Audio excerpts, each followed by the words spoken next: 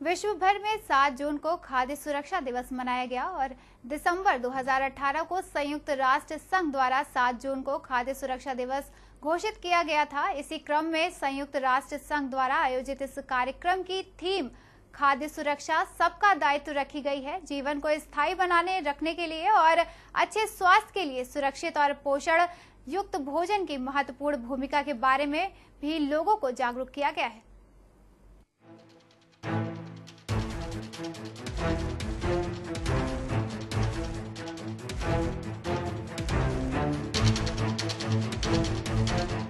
खेत से लेकर खाने की टेबल तक आने वाले खाद्य पदार्थों की सुरक्षा करने के लिए हर किसी की ज़िम्मेदारी और दायित्व होता है। इसी क्रम में लखनऊ विश्वविद्यालय में विश्व खाद्य सुरक्षा दिवस का आयोजन किया गया। कार्यक्रम में मुख्य अतिथि खाद्य सुरक्षा और औषधि प्रशासन विभाग की अपर मुख्य सचिव डॉक्टर अनीता भटनागर जैन रही। कार्यक्रम का शुभारंभ दीप प्रज्वलन के साथ हुआ। कार्यक्रम में मौजूद अपर मुख्य सचिव डॉक्टर अनीता भटनागर जैन ने बताया कि वर्ष भर में लगभग छह करोड़ लोग खाद्य जनित बीमारियों से ग्रसित होते हैं। अर्थात 10 में से एक व्यक्ति वर्ष में एक बार अवश्य इसका शिकार होता है।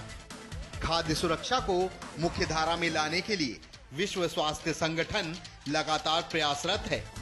इसके लिए क्षेत्रीय स्तर पर समाज के सभी वर्गों को उनके दायित्वों के प्रति जागरूक करना ज़रूरी है। इसके लिए क्षेत्रीय स्तर पर समाज के सभी वर्ग के लोगों को जागरूक होना ज़रूरी है। आज प्रथम विश्व खाद्य सुरक्षा दिवस मनाया जा रहा है। उत्तर प्रदेश में हम लोगों ने स्वतः एक जनपद में इसको मनाने का निर्णय लिया और हर एक जनपद में जागरूकता के कार्यक्रम आयोजित किए गए हैं।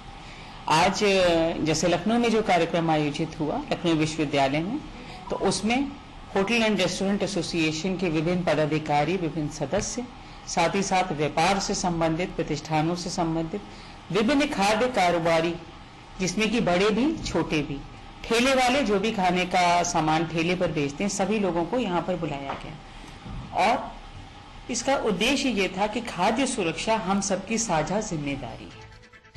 कार्यक्रम में विश्व खाद्य सुरक्षा दिवस का औचित्य बताया गया।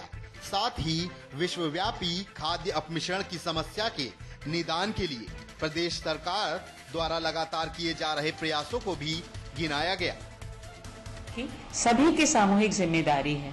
खेत में जो चीज़ बोई गई, उसमें कितना पेस्टिसाइड डाला गया, इसके संबंध में लोगों को जागरूकता हो। साथ ही साथ जब कोई खाद्य पदार्थ बिकता है, मान लीजिए किसी दुकान में आटा बेच रहा है, मसाले बेच रहे हैं। तो ये दुकानदार की भी ज़िम्मेदारी है कि उसके पीछे लेबल पर ये ज़रूर चेक करे कि उसमें जो भी उसको निर्माण कर रहा है, उसका रजिस्ट्रेशन नंबर हो। क्योंकि कई ऐसे जो कभी कभी मिलावटी सामान पकड़े जाते हैं, उसमें ठीक से रजिस्ट्रेशन नंबर नहीं होता, पता नहीं होता एक्सपायरी नहीं होती।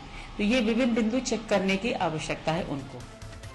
देश भर में कुपोषण और भुखमरी की समस्या के निदान के लिए चलाए जा रहे कार्यक्रम के ज़रिए इसे रोकने का प्रयास जारी है। इसी क्रम में खाद्य सुरक्षा, सबका दायित्व की थीम के साथ अथक प्रयास कर लोगों को जागरूक करने का काम जारी है।